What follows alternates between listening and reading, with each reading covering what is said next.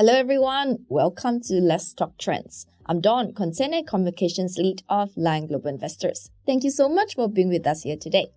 Joining us on this episode is Kenneth Ong, our fund manager for Singapore Equities. Welcome to the show, Kenneth. Always great to have you. Thanks, Dawn. Glad to be here again.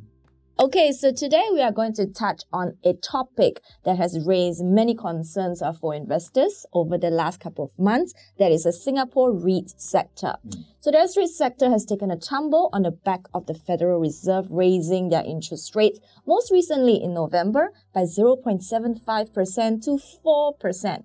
So I'm sure many investors out there are as curious as I am. What do we do with the S REIT sector from now? Well, thank you very much, Dawn. This is actually a, a very hot topic for investors right now. Um, I think the good news is we're starting to see some light at the end of the tunnel. Um, and, you know, this is actually an interesting opportunity for investors, especially those who are looking for uh, defensive sectors like the REITs. I see. So, however, right, with the unit prices of the REIT sector having fallen so much, how can we actually provide a comfort to investors that this is indeed an opportune moment to get in right now? Okay, I think there are uh, two ways to look at it. You know, first at the macro level, uh, the U.S. Federal Reserve has signaled two things, right? So the first is that um, they're looking to perhaps uh, slow down the pace of interest rate increases. So I think that that reduces the headwinds that are affecting the, the REIT market right now. And the second thing is that they're looking to keep those that interest rate level for a longer period of time to combat inflation. Now, this is a tendency to move the US economy into the recession, and by extension, the recession risk for the global economy will also increase.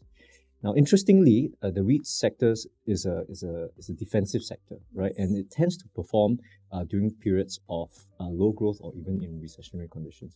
So, from the top down perspective, you know, we're seeing the narrative shift, you know, from being concerned about rising interest rates to, to being concerned about a recession. And that plays into the hands of the REITs. So, but, and the second thing is from the bottoms up.